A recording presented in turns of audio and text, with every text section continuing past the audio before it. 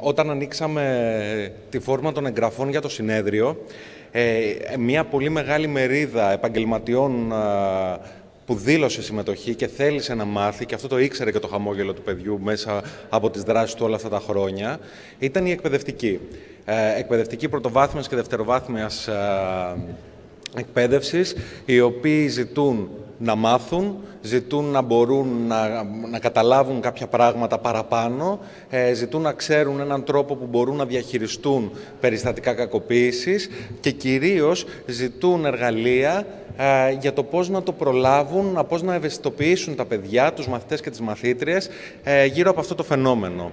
Ακούγοντας λοιπόν αυτή την ανάγκη, 14 χρόνια που σταθερά το χαμόγελο του παιδιού είναι μέσα στην εκπαιδευτική κοινότητα και αναπτύσσει προγράμματα, ε, σχεδιάζει, αναπτύσσει και εφαρμόζει προγράμματα πρόληψης και ευαισθητοποίησης μέσα από μια ευρωπαϊκή ε, συμμαχία μέσα από, μια, από ένα ευρωπαϊκό πρόγραμμα δημιουργήθηκε ε, η ιδέα του Convey, ενός εργαλείου διαδραστικού ε, όπου τα παιδιά παίζοντας, μαθητές δευτεροβάθμιας εκπαίδευσης, παίζοντας θα μπορέσουν να μάθουν πράγματα που σχετίζονται με τη σεξουαλική βία και πώς ε, τα στερεότυπα των φύλων μπορούν να οδηγήσουν σε αυτή. μιλάμε στην πραγματικότητα για ένα παιχνίδι ε, για ένα διαδικτυακό παιχνίδι όπου τα παιδιά θα κληθούν, οι μαθητές και οι μαθήτριες θα κληθούν να αναλάβουν, να, να λύσουν τέσσερις υποθέσεις. Το concept είναι κοινό. Τα παιδιά, ένας από τους ήρωες της ιστορίας, οι ήρωες ή οι ηρωίδες, εξαφανίζεται. Και τα παιδιά ως detective κινούνται μέσα στον διαδικτυακό χώρο, μέσα σε αυτόν τον εικονικό χώρο, συλλέγοντας στοιχεία και προσπαθώντας να βρουν αφενός που είναι το άτομο που έχει εξαφανιστεί και αφετέρου α, να καταλάβουν για ποιο λόγο εξαφανίστηκε. Ε, είναι τέσσερις λοιπόν υποθέσεις, όλες σχετίζονται με τη σεξουαλική βία και όλες μέσα έχουν το κομμάτι του στερεότυπου των φύλων. Ε, το πρόγραμμα αυτό, όπως σας είπα, ε, ε σχεδιάστηκε από την Ιταλία, που είναι και ο συντονιστής του έργου, από την Ελλάδα, την Κύπρο, που είναι και εδώ σήμερα οι συνάδελφοι από το Hope for Children, ε, από την Ιρλανδία, τη Βουλγαρία και από το Ηνωμένο Βασίλειο. Και τα παραδοτέα του έργου ήταν η δημιουργία αυτού του διαδραστικού εκπαιδευτικού εργαλείου. Είναι, μπορεί να, το παίξει κάποιος από το διαδίκτυο, το κατεβάζει και παίζει από το διαδίκτυο, αλλά και σε τάμπλετ και στον υπολογιστή του και στο κινητό παντού. Ε, εργαστήρια επιμόρφωσης των εκπαιδευτικών, εργαστήρια ευαισθητοποίησης των νέων ε, και τελικά μια καμπάνια, μια εκστρατεία μέσα στα σχολεία, ε, πάντα σε συνεργασία με το Υπουργείο Παιδείας, Πάντα σε συνεργασία με το Υπουργείο Παιδείας, πάντα τα προγράμματά μας ελέγχονται, εγκρίνονται από το Ινστιτούτο Εκπαιδευτικής Πολιτικής ε, και έχουμε και τη συνεργασία με το Πάντιο Πανεπιστήμιο που όλες μας τις δράσεις τις εποπτεύει επιστημονικά, τις δράσεις στα σχολεία, τις εποπτεύει επιστημονικά, αναλύει τα δεδομένα και μας συμβουλεύει για το πώς να βελτιώσουμε ε, τα εργαλεία μας. Θέλω να πω κάτι. Ε, το εργαλείο και οι ιστορίες φτιάχτηκαν με την ίδια τη γνώμη των παιδιών. Δηλαδή, μαθητές και μαθήτρες από αυτές τις ευρωπαϊκές χώρες λειτουργήσαν σαν σύμβουλοι για να σχεδιαστεί αυτό το εργαλείο. Από την Ελλάδα συμμετείχε το 6ο Γυμνάσιο Ηλίου, μας έδωσαν πάρα πολλά, ε, σχεδόν όλα τα δεδομένα που έδωσαν τα, τα Ελληνόπουλα ε, ε, τα συμπεριέλαβαν στην σχεδίαση των, ε, των ιστοριών και έτσι ε, αυτές παρουσιάζονται τώρα. Αυτή είναι η εταίρη του έργου.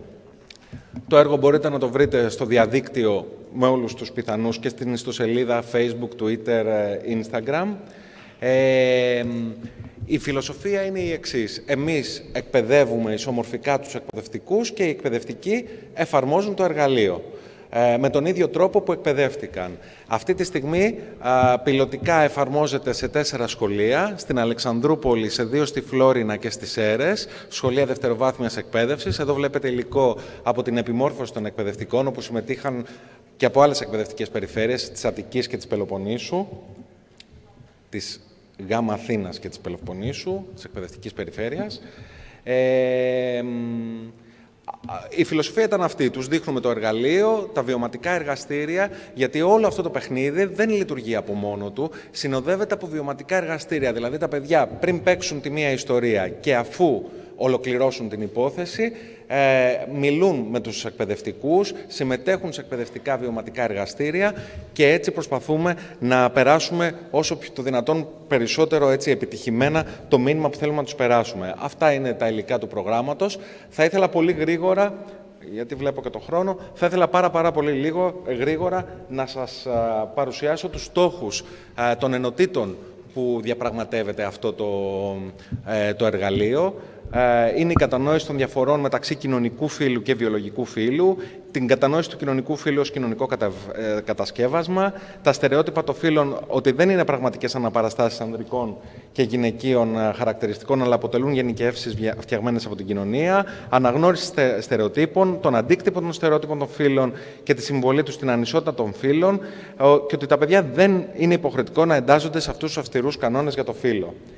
Ε, Μία δεύτερη ε, ενότητα, ε, η, στόχη της, ε, η δεύτερη αυτή ενότητα ονομάζεται σεξουαλικοποίηση των νέων στα ψηφιακά μέσα και η στόχη είναι να κατανοήσουν τα παιδιά τη σημασία της σεξουαλικοποίησης, την κατανόηση των μηνυμάτων που μεταδίδονται σχετικά με τις γυναίκες και τα κορίτσια μέσω της σεξουαλικοποίησης, αναγνώριση των διακριτών τρόπων με τους οποίους τα κορίτσια σεξουαλικοποιούνται στα ψηφιακά μέσα, αναγνώριση στερεοτύπων και προσδοκιών των φίλων που αντιμετωπίζουν στην καθημερινή τους ζωή και πώς μπορούν να τα αντιμετωπίσουν και τον αντίκτυπο αυτής της σεξουαλικοποίησης στα κορίτσια και τα αγόρια. Στην, τέταρτη, στην τρίτη συγγνώμη, ενότητα μπαίνουμε ξεκάθαρα στο κομμάτι που μας αφορά, την, το κομμάτι της έμφυλης, της έμφυλης βίας, ε, όπου εδώ μιλάμε πλέον στα παιδιά για τους διαφορετικούς τύπους της βίας με βάση το φύλλο, τις διαφορετικές μορφές της βίας, τη διαδικτυακή βία, τι οδηγεί στη βία λόγω φύλου και στρατηγικές με τις οποίες τα παιδιά μπορούν να απαντήσουν σε βία που μπορούν να δεχθούν με βάση το φύλλο.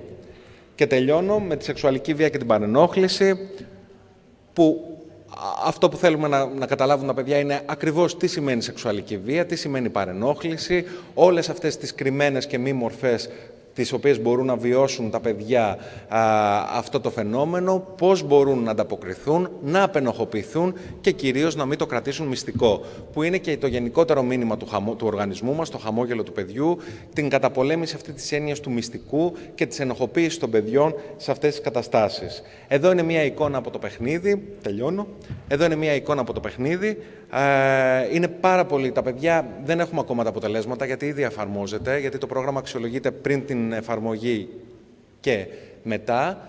Ε, Παρ' όλα αυτά ξέρουμε ότι τα παιδιά αυτή τη στιγμή μας ενημερώνουν οι τέσσερις εκπαιδευτικοί που συνεργαζόμαστε ότι τα παιδιά το έχουν, ε, ε το έχουν βρει πάρα πολύ ενδιαφέρον, ζητούν την εμπλοκή τους σε αυτό το πρόγραμμα, μαθαίνουν. Τα βιωματικά εργαστήρια έχουν σαν στόχο όχι να φοβήσουν, ούτε να πανικοβάλουν, ούτε να διδάξουν, αλλά να περάσουν καλά και να πάρουν κάποια μηνύματα. Το παιχνίδι ονομάζεται Not a Game. Ε, προσπαθήσαμε να κάνουμε ένα λογοπαίγνιο ότι αυτό δεν είναι Μπορεί να παίζουμε, αλλά στην πραγματικότητα δεν είναι παιχνίδι. Ε, μέσα στο πρόγραμμα φιλοξενούνται και μαρτυρίες που είναι από τα πιο ενδιαφέροντα κομμάτια που μπορεί να ενδιαφέρουν Τόσο ώρα μίλαγα για τους εκπαιδευτικούς, τώρα μπορεί να ενδιαφέρουν και τους υπόλοιπους ε, επαγγελματίες στο χώρο.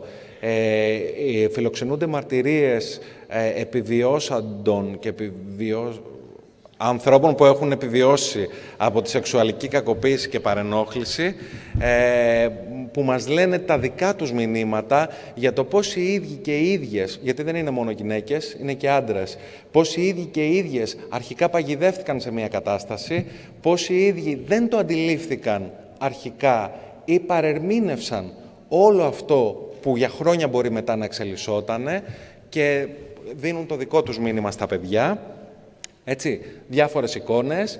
Ε, σε περίπτωση που ε, όλα, όπως σας είπα, τα προγράμματά μας έχουμε άμεση συνεργασία με το ΙΕΠ, ε, συνεργασία με το, Πανεπιστήμιο, το Πάντιο Πανεπιστήμιο. Σε περίπτωση που κάποιος ενδιαφέρεται παραπάνω για αυτό το πρόγραμμα, μπορεί να το αναζητήσει μέσα από το διαδίκτυο.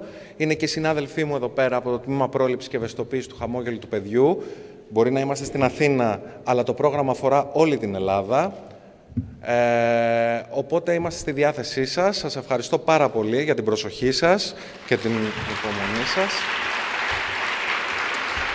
Τώρα, μια πολύ ε, χρήσιμη ανακοίνωση για το διάλειμμα που ακολουθεί, το μιας ώρας διάλειμμα. Ε, στα φουαγέ κάτω